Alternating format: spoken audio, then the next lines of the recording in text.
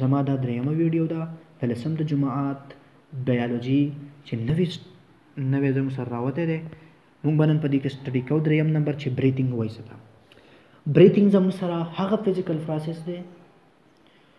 چې موږ په دې کې د هوا په ذریعه اکسیجن مونږ انهیل کوو د لنګ پوري بریتنګ بم د کوم ځای پوري د لنګ پوري او مونږ په دې کې کاربن ډای اکساید اکسیل کو انوایرنمنت ته په دې پروسس کې به زموږ سره اکسیجن به دننه ځي کاربن ډای اکساید به د هوا په ذریعه باندې بهر ته راوځي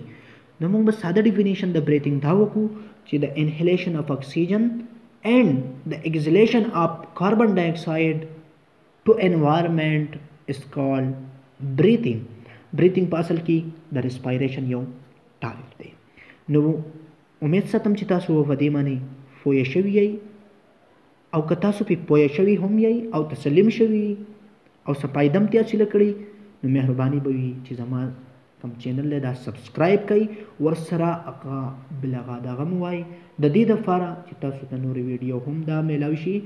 او په دې تعلیم باندې پوه شئ دا کتاب چې دی دا د خیبر پښتونخوا د پښتنو دپاره